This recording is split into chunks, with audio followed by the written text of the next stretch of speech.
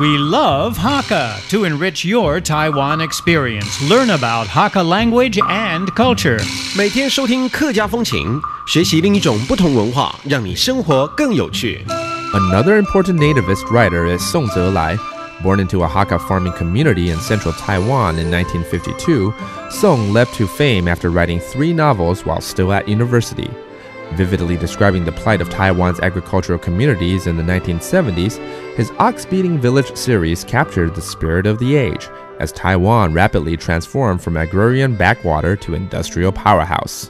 Like many of his contemporaries, the focus of Song's writing switched to political and human rights issues, reflecting the political turmoil of 1980s Taiwan. A firm believer in the need for political change to prevent tragedies like the Kaohsiung incident from recurring, Song's novels are highly critical of the nationalist government's authoritarian rule of Taiwan.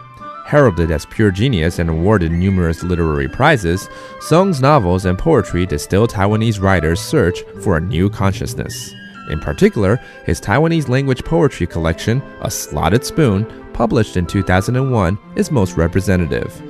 A Zen Buddhist, Song continues to search for a perfect match between material and form in his novels, while also writing social, political, and religious critiques and teaching at a high school in Zhanghua. Hello, everyone. It's time for our Hakka lesson of the day. Hello，你好，大家好，我系 Alice 彭。 Taiga Ho.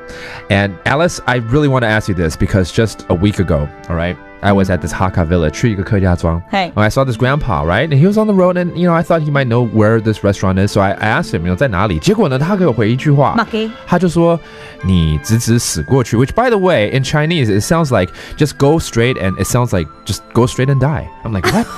I better get out of here. So I zoomed out. Oh. But I said, you know what? I know he's Hakka. I know there's something wrong. So I have to come back and ask Alice right here. 他为什么说直直死过去？哦，他是跟你说，你直直的这样开过去，四勾一呀，我们教过，你忘了？啊，哈卡死，四勾一没？了解了。他跟我讲国语，又用客嗯，家话，又客家话掺在一起就，国客这样子就对了。死过去。So he blended Chinese Mandarin along with Hakka，直直死过去。哎要不然哈卡应该怎么讲？你吃吃四勾一，你吃吃死死过过去哦，就像说我有时候会说你很强哦，你很就错了你懂？强啊，就你很棒。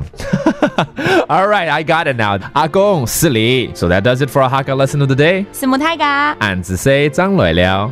客家风情由行政院客家委员会监制，邀您一起体验另一种不同的客家文化之美。We Love Hakka has been brought to you by the Hakka Affairs Commission of the Executive Yuan to enrich your Taiwan experience.